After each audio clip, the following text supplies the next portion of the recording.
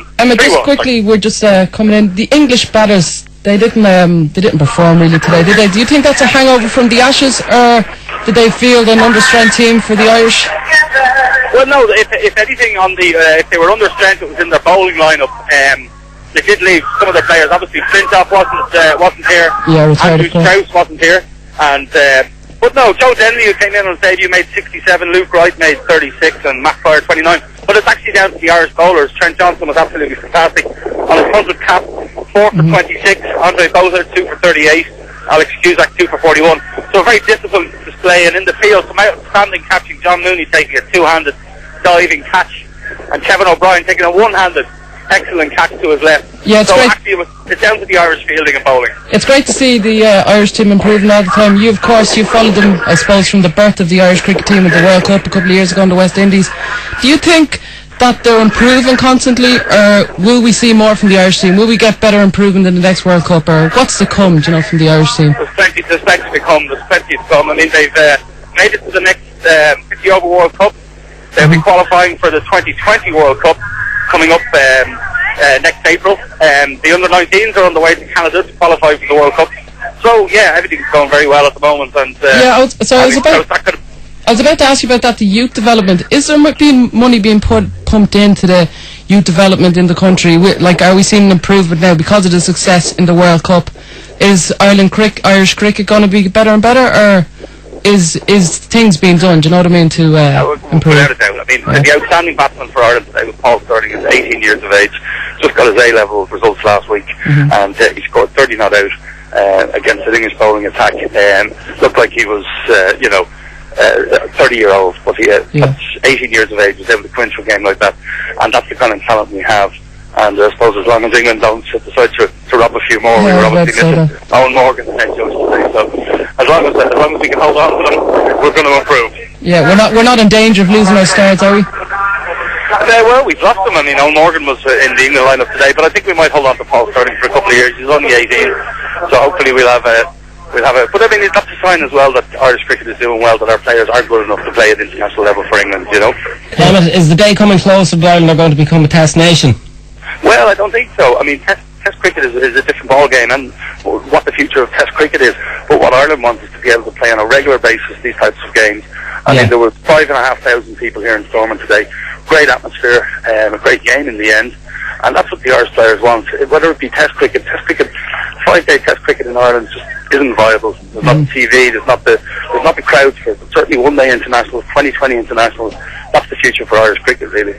Yeah, was this uh, an opportunity lost now? It looked like they really could have done the business up in Stormont uh, earlier on. It was an opportunity lost. Yeah, they did have a chance there today to, to do something and uh, just kind of fell short. Uh, spin actually in the end uh, uh, got, which happens to us a lot. Some of the some of the top quality spinners. Actually, it was Owais Shah who's an occasional spinner actually for England. Yeah. Three wickets for two runs, and uh, but it was a it was a good performance. They're doing the man of the match awards now and. Trent Johnston has probably missed out because England have won, but it would have been the, it would have been fantastic for him to get the man of the match on his hundredth cap to take four wickets. That would have been fantastic, alright? Uh, Emma, I was just going to say to you, Trent Johnston, you thought would, should have been the man of the match. Who is the leading star for Irish cricket at the moment? Who is like Mr. Fantastic when it comes to Ireland cricket? Oh, we have a number. I mean, our captain William Porterfield is an excellent batsman. Niall O'Brien, um, a fantastic player as well, uh, wicketkeeper batsman. Uh, Boyd Rankin again. We were missing Boyd Rankin today. We talked about the English players that aren't here. Um, Boyd Rankin, six foot eight fast bowler, missed out because of a groin strain. But no, we've, we've just plenty. And as, as I say, there's a bunch of under 19 kids coming up who are ready and willing and able actually to step straight into the team. And we've seen that with Paul Stirling today.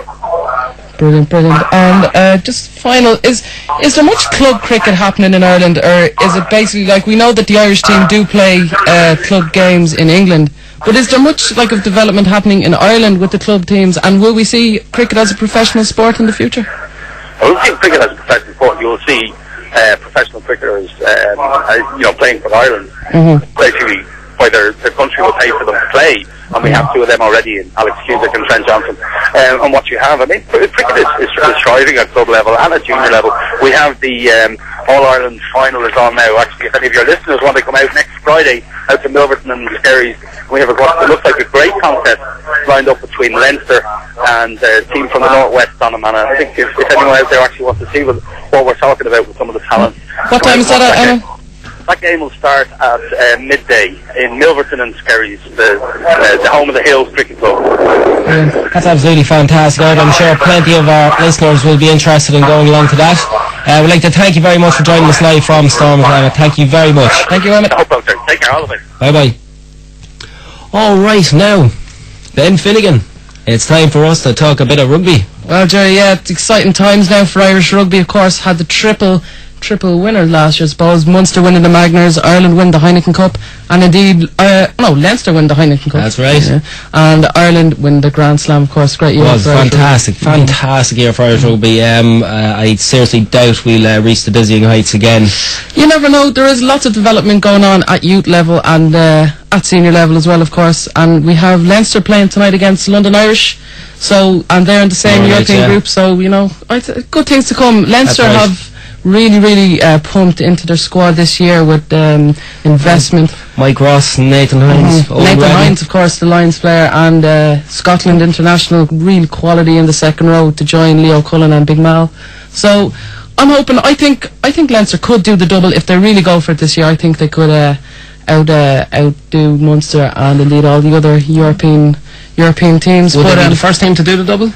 They will be. I well, as far as I know, they'll be the first team to do the double. Of course, there's different leagues. There's the French league and the English Premiership, which Yeah. uh, Wasps are always and Leicester are always doing very well in that. But I think Leinster do. They you have to fancy their chances as well. Really exciting stuff this year. We have Eoin Reddan who came over from Wasps, and he's now going to be playing with uh, Jonathan Sexton, and uh, he's hopefully the next Ron O'Gara, the next one to fill the shoes this year. So hopefully Yeah. We can build up a bit of a partnership between those two and have an alternative for O'Gara and O'Leary or Stringer. So it's great stuff for Irish rugby. Now, uh, Sean O'Brien, is he going to fill the void left by the very, very big shoes of Mm. Rocky Elsom? Yeah, well, you, you said the word there, very big. Rocky Elsom, of course, the new star in Australian rugby. Yeah. I uh, I don't know, Sean Sean O'Brien. He's he's a young, very young player, but he has really showed his stuff at youth level, under 18, under 19, and I think he was in the Ireland A team. So hopefully it'd be great. Ireland do need a few more flankers. We have Paddy Wallace, who's a bit old and you know get getting old, as they say, Jerry. Getting old, that's so it. we we need a bit of new blood, all right, in there. But I'm more worried about the backs. I really think that um, Yeah. Brian O'Driscoll, he is one of the best centres, but he's getting he's getting old as well. We need a replacement. So centre. you need backup. Oh, definitely backup because we have. I don't think we have much Ulster listeners here, so I wouldn't be afraid to say the likes of Andrew Trimble and them aren't that great. So we need a bit of better backup. We hopefully now we have. Um, You better hope there's no Ulster fans listening to us this evening. ah, yeah. Well, there's not much that can be said about Ulster rugby at the moment, so we won't even go into that. To be honest. That's fair enough. But um, no, I'm hoping Leinster Rugby we can do it. We have the game tonight. I don't know. It's only starting at seven, half seven. So sure, next week we'll let you know how they get on, and hopefully good things to come this year. Of course, Brian O'Driscoll, um, as after having a bit of an Indian summer over the last year, Yeah. as they say, now he must be in contention for player of the World Player of the Year. Yeah, well, is that is that too much to say? Well, you've never too much to say from you, Jay. But you know, Ah. hopefully, I, everyone in Ireland wants Brian O'Driscoll to do well, and we always want to see the Irish players doing good. And he can. He had an amazing year this year with the Grand Slam. He really, Really did did, guide yeah. us to it. But um, Yeah. hopefully, he has a bit left in the bit more left in the locker, as they say, and we can see more tries from him this year. Maybe he'll get World Player of the Year. I'm not sure. There is a lot of other young players, and South Af- the South Africans really are top notch, especially with, Fantastic, with yeah. the Beastly uh, holding up the front. So I'd say I was I was more impressed with the hits that Brian O'Driscoll took. And the way he scrummaged across the line with a couple of tries rather than his absolutely fantastic running. Yeah, well, he, he really is a target man now for all the other teams. They really do want to like pump into him and knock the stuffings out of him. But he is toughened up ever since you know New Zealand when that horrible tackle was made on. Well, wouldn't ah, say tackle. Hanu Maga. Yeah. Yes, the villain. We won't say any more on that. We'll get kicked off the air. So, anyways, um, yeah. So Brian O'Driscoll, hopefully him now. We've lots of new exciting uh, players like Rob Kearney and Luke Fitzgerald and Rob Kearney, correct yeah. there, yeah. Also, hopefully now the backs will have plenty of firepower there. So, if if we can pump into the youth and get a few more players up, it's really good things to come this year. So uh, it's looking up then, you're saying, yeah? Looking up, yeah. Well, there's not much competition on the national front. I'd say like England. I don't know, Martin Johnson, he doesn't seem to be doing the business. We get all these terrifying interviews with him saying he's the big man, but I can't really see England doing anything this Oh, year. I can't see England doing anything this year either. And um, Martin Johnson, no, he's not that great for manager at all, is he?